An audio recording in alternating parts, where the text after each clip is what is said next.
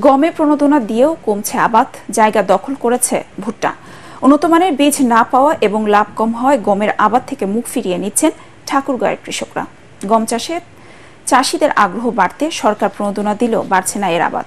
ঠাকুরগাঁও থেকে ফিরোজ আমির সরকারের পাঠানো তথ্যচিত্রে ব্যুরো রিপোর্ট।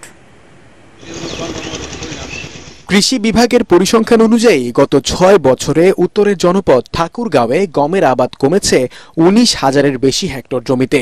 উৎপাদন কমছে প্রায় ছিয়াত্তর হাজার মেট্রিক টন।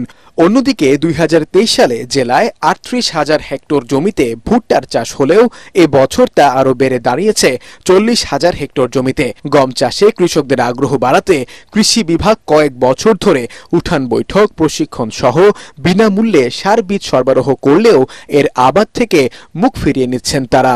এখন যে জাতের বীজটা পাওয়া যাচ্ছে মনে হয় তেত্রিশ বা বত্রিশ আঠাইশ এই ইয়ার মধ্যে এই পঁচিশ তিরিশ মনের মধ্যেই ফলন।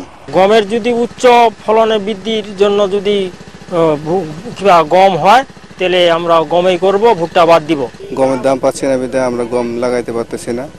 এখন আমরা ভুট্টা লাগাইছি যে ভুট্টার দাম পাই ভুট্টা মানুষ আগে কিছুদিন করে আসতেছে এখনও পর্যন্ত আমরা করতেছি। তবে গমের আবাদ বাড়াতে এর উচ্চ ফলনশীল জাত উদ্ভাবন জরুরি বলে মনে করছে জেলা কৃষি সম্প্রসারণ অধিদপ্তর। আমাদের কৃষকদেরকে কারিগরি পরামর্শ সহায়তা এগুলো দিয়ে যাচ্ছি এমনকি সরকারের পক্ষ থেকে আমরা প্রণোদনা আহ, প্রদানের কার্যক্রম অব্যাহত রেখেছি। হয়তো আরও অধিক উচ্চ ফলনশীল গমের জাত আবিষ্কারের প্রচেষ্টাও অব্যাহত রয়েছে গবেষণা কেন্দ্রে। একসময় ঠাকুরগাঁও ছিল সর্বাধিক গম উৎপাদনের জেলা। এবছর সাড়ে ছত্রিশ হাজার হেক্টর জমিতে গম আবাদের লক্ষ্যমাত্রা নির্ধারণ করা হলেও চাষ হয়েছে একত্রিশ হাজার হেক্টর জমিতে, যা লক্ষ্যমাত্রার চেয়ে পাঁচ হাজার হেক্টর কম। মাসারুল হক মুহাজির এটিএন বাংলা।